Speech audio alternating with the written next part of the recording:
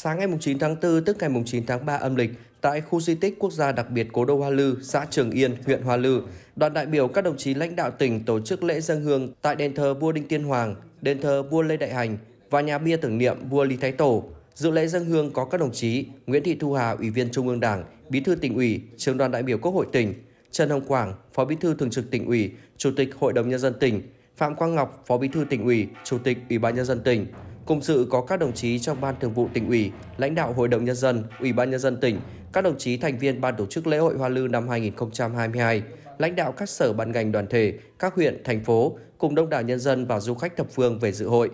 Dân hương tại đền thờ vua Đinh Tiên Hoàng, đền thờ vua Lê Đại Hành và nhà bia tưởng niệm vua Lý Thái Tổ các đồng chí lãnh đạo tỉnh và đại biểu dự lễ đã kính cẩn tưởng nhớ, tri ân công lao to lớn của các bậc tiên đế, những vị anh hùng dân tộc của ba triều đại, vua Đinh Tiên Hoàng, Lê Đại Hành và Lý Công Uẩn đã có công dựng nước và thống nhất đất nước. Trong không khí linh thiêng và trang nghiêm, các đại biểu cũng bày tỏ quyết tâm phát huy truyền thống hào hùng của cha ông, tiếp tục đoàn kết năng động, sáng tạo, chung sức, đồng lòng, phát huy trí tuệ tập thể, sự ủng hộ đồng thuận của nhân dân, xây dựng quê hương Ninh Bình ngày càng phát triển giàu đẹp, văn minh hiện đại. Lễ dân hương là hoạt động trong ngày khai mạc lễ hội Hoa Lư năm 2022, lễ hội nhân kỷ niệm 1054 năm Đinh Bộ Lĩnh lên ngôi hoàng đế, lập nên nhà nước Đại cổ Việt, nhà nước phong kiến trung ương tập quyền đầy đủ đầu tiên của Việt Nam.